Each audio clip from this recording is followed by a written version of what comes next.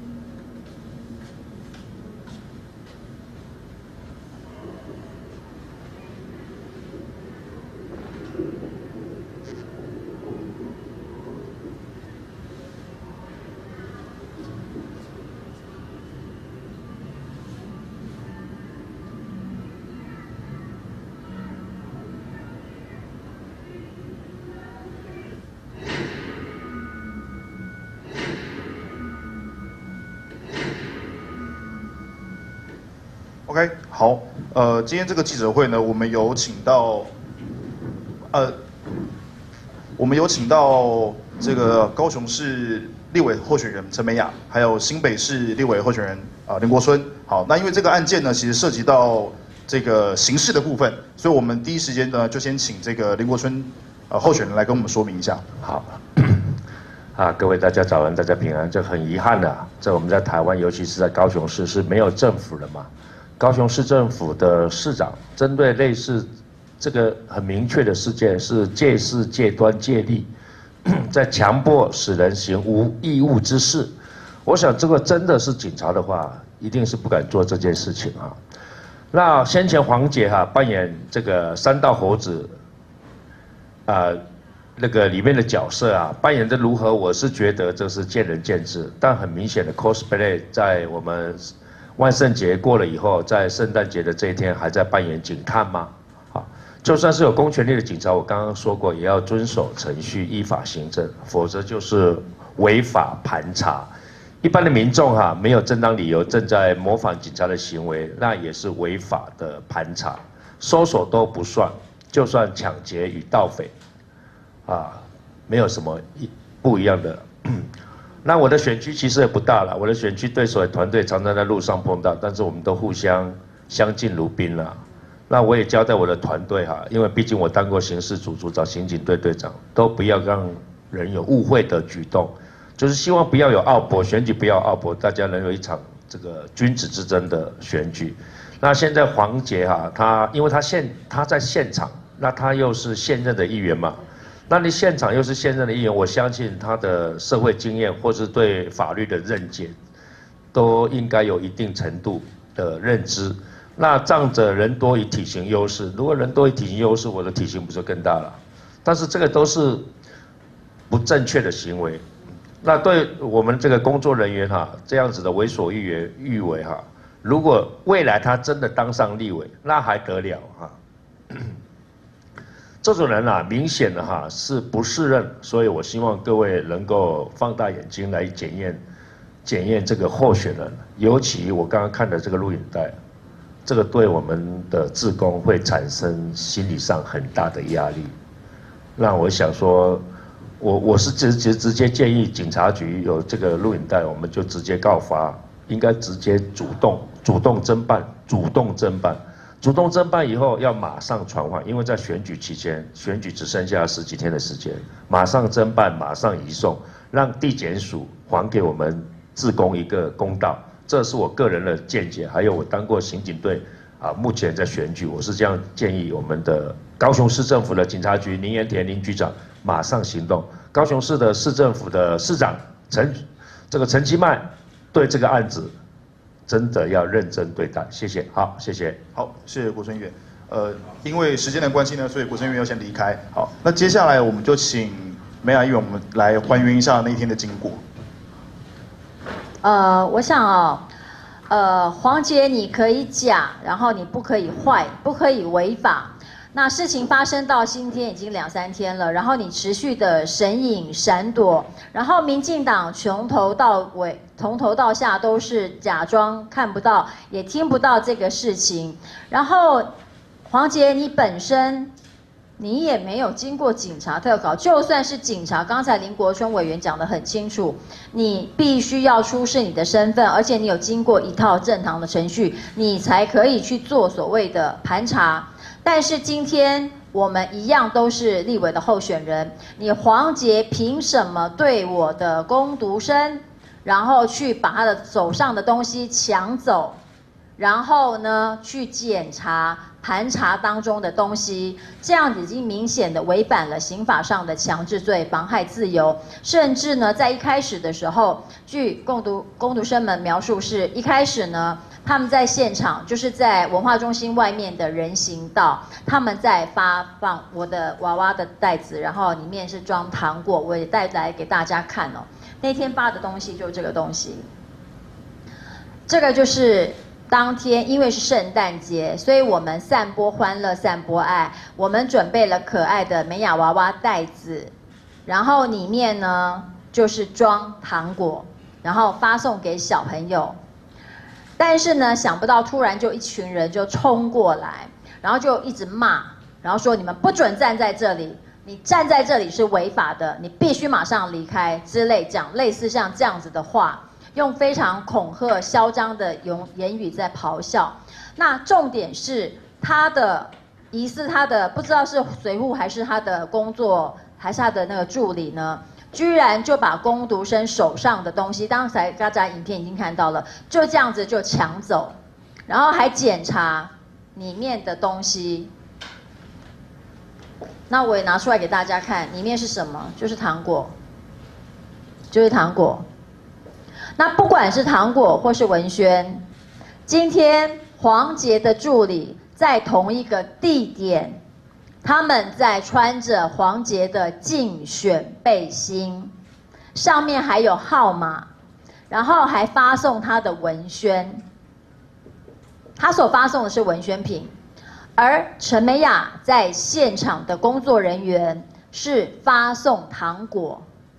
在人行道上。人行道是所有的市民朋友，任何人民都可以经过通行的地方。今天到底黄杰你是有多么样的自我膨胀？你自己认为说你可以任意的在高雄的道路上任意的去拦阻别人的去向，然后还把我陈美雅的东西抢过去，然后检查，这个在我们的台湾有史以来从来没有听过这么嚣张的事情。所以是怎么样的权利让一个人可以腐化成这样的一个程度？完全是法律为无物。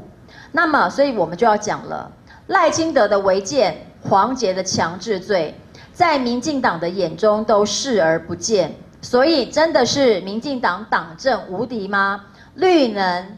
你不能，只有民进党可以这么嚣张的欺负一般的民众。我在讲，高雄现在没有市长了。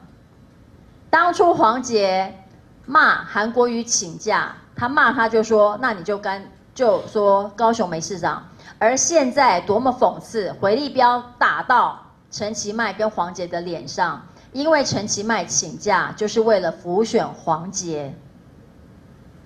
高雄的高雄市民朋友，弱势的市民朋友被欺负，陈其迈，你不但不出来帮弱势的市民朋友讲一句公道话，你还用你市长的身份对外散播说这是栽赃，这是看图说故事。刚刚大家已经看到了非常原始的。证这个是有影片，这不是看图说故事，有影片为证。所以，我们今天要提醒跟大家报告的是说，选举是一个自由、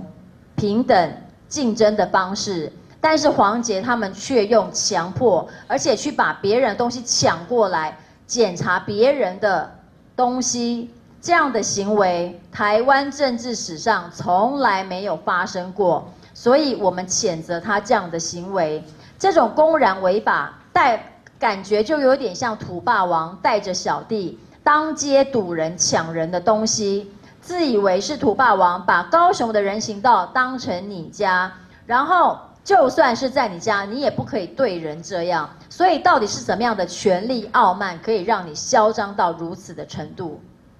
我们是不是先请这个攻读生在现场攻读生先？先讲好不好？先还原一下当天的情况。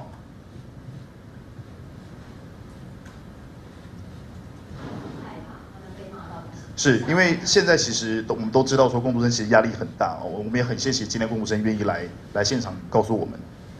因为那一天是二十四号平安夜，那我们就想说，呃，给孩子们一个惊喜，所以我们就去文化中心的门口的人行道上，跟我们另外一个攻读生呢，我们去发送糖果。那我们在发送当下，其实小朋友都很开心，但是就突然间，呃，黄杰他们的大队人马出现，那当时间我们根本不知道他是黄杰，只是莫名其妙一群人就指着我们咆哮。然后指着我们一直骂，就说我们不可以在这个地方，我们这样做是违法，不能在这个地方发东西。那我们就觉得很奇怪，那我们就只是发送给糖果，然后给小朋友，到底有什么不能发送的？然后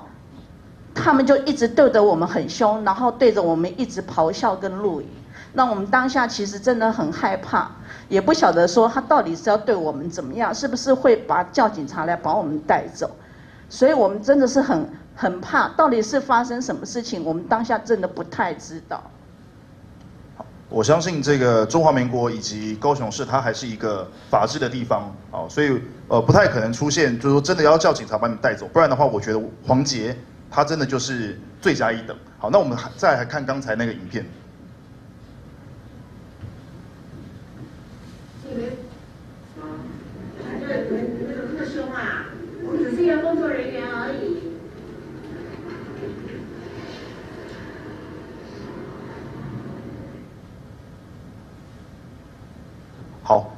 那我们再请那个梅雅议员再来说明一下当当天的情况。好，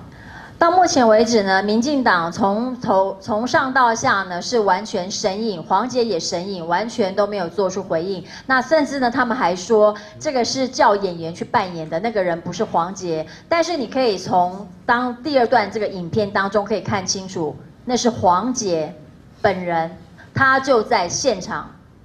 黄杰本人就在现场，而且有影片为证，所以黄杰，你不要再睁眼说瞎话了，不要再说那个是什么叫做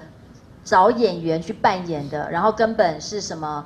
含血喷人，你就是明明在那天你做了这些行为，你让你的助理或是随扈抢了我的攻读生的东西，如果今天。你仗着你议员的身份，可以这样子欺负一般的小老百姓，那么我们今天不勇敢的站出来，让大家看清楚真相的话，那未来还会有更多的市民朋友是不是会被他们所欺凌？所以民进党执政之下，台湾已经没有法律了吗？是谁赋予你黄杰这么大的勇气？你敢公然违法抢夺别人的东西？我们在这边还是要再次谴责，而且我再次强调，政治史上从来没有发生过这种候选人去抢另外一个候选人的东西过来检查，你凭什么，黄杰？我觉得你公然违法的行为，你到目前为止没有一声道歉。陈其迈市长，我也要求你要出来道歉，为你偏袒加害者。然后呢，你居然用你的市长的身份，然后去又等于是给警方施压，说这个是一个栽赃的行为，抹黑，影片明明白白显示在这里，所以我们在这边要再次的还原真相，谴责高雄真的没有市长了吗？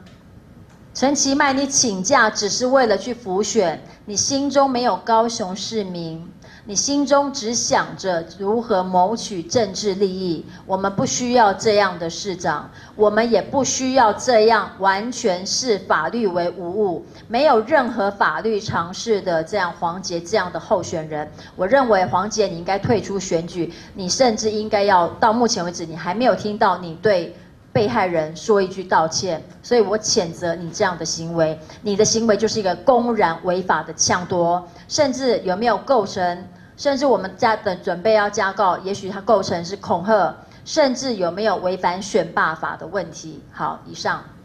最后，我真的再补充一句话：黄杰，不要认为你自己是媒体宠儿，